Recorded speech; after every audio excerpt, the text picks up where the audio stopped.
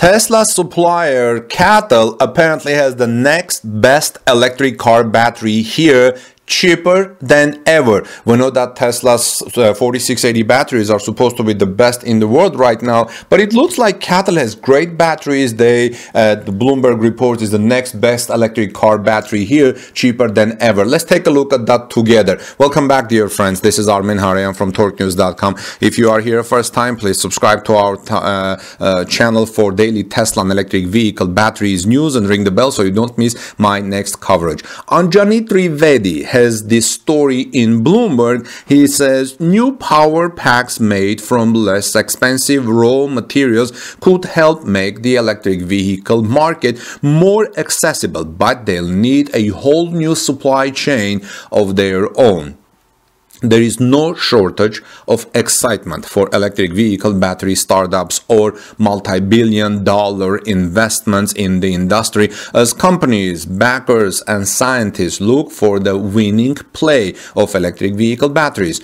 China, though, is already moving on to the next leg in the race, uh, one that isn't depending on a big, bold breakthrough with sodium ion batteries. Have you heard about these batteries, friends? Sodium ion batteries? Done right, this technology could lead to widespread adoption in a market largely dependent on subsidies and where EV sales are still a fraction of all cars. Done right, I will not be surprised if Tesla will also buy sodium ion batteries because Tesla start, started recently using LFP batteries in its cars in addition to lithium ion batteries. But now it could start using sodium ion batteries in addition to the upcoming 4680 batteries. But keep in mind the 46 680 is the size of the cell. Now, China's contemporary Amperex technology, or CATL, a large Tesla battery supplier in Giga Berlin, uh, I'm sorry, in Gigafactory, uh, uh, Gigafactory in China, Giga Shanghai,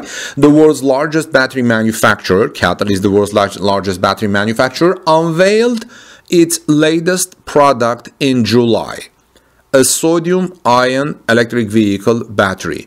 The following month, China's Ministry of Industry and Information Technology said it would drive the development, standardization, and commercialization of this type of power pack, providing a cheaper, faster charging, and safe alternative to the current crop of offer, which continue to be plagued by a host of problems, not least faulty units catching fire. Sodium ion batteries aren't a new development.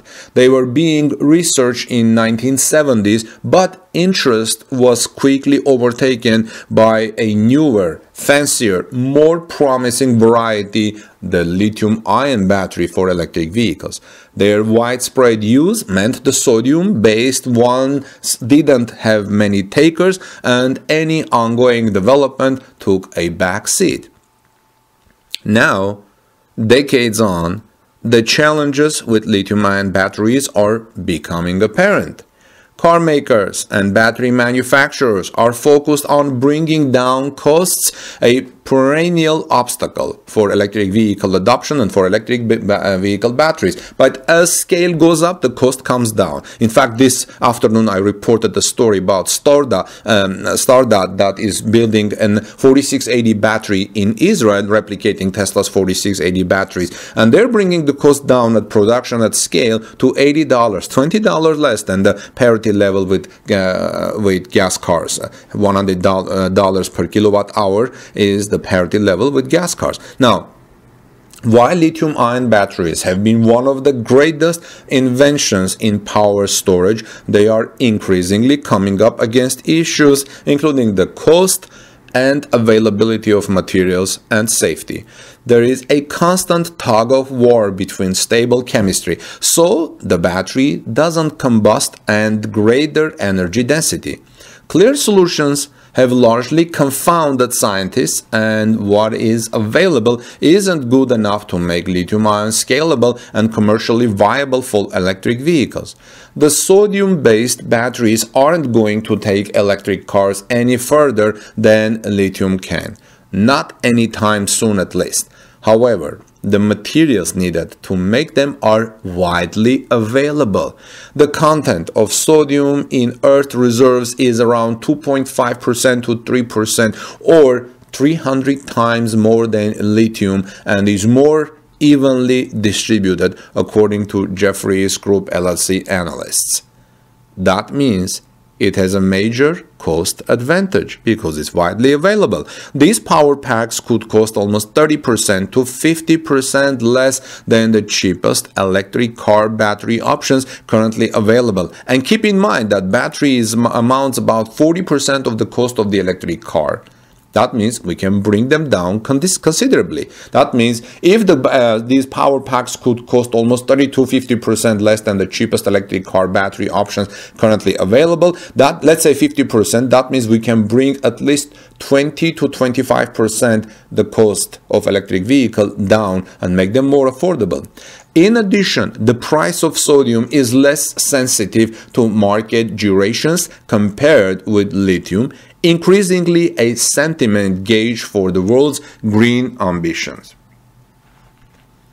And although sodium ion batteries currently have a relatively lower energy density, they run better at cooler temperatures and have a greater lifespan, making them a battery long-term investment in theory. That was very important point that sodium batteries run better at cooler temperatures because we have we know that electric vehicles lose some range in cooler temperature because batteries have to warm up. Now, CATL's latest product is expected to have an energy density of 160 watt hour per kilogram and will take 15 minutes to reach 80% of its charge. That's not bad.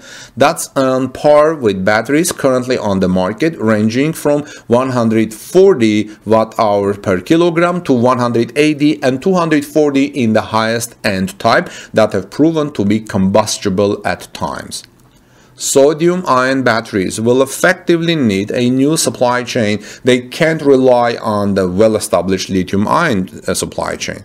Low material costs, tough uh, though actually low material costs, though they means manufacturing expenses will be reduced and honoring the existing production processes to upgrade these older batteries will be faster. CATL, a supply uh, a Tesla batteries uh, supplier, has said it will have a supply chain in place by 2023. You know, friends, these things take time. Other companies like HiNa Battery Technology already have projects in progress. Ultimately, the ability to put cheaper and safer options on the market also means widespread accessibility for price conscious consumers or resource constrained nations. Countries like India and South Africa are vying to get on the electric car bandwagon with big, ambitious plans to hit global green targets. However, they just don't have the resources or access to them, neither financial nor raw materials. Options like the sodium ion battery offer a clear path to go electric and make headway with the climate change goals. Now remember this in mind. Anjani Trivedi rightfully says in Bloomberg, whoever can master the next best battery for electric vehicles wins this. Friends, this is Armen Hareyan from TorqueNews.com. Please subscribe to our channel for daily Tesla electric vehicle EV battery breakthrough news. Ring the bell so you don't miss my next coverage and give us thumbs up. Please tweet this out. I would greatly appreciate it. Let's be kind to each other, love one another, and have a great day. Peace be with you and with your families. See you soon in our next report.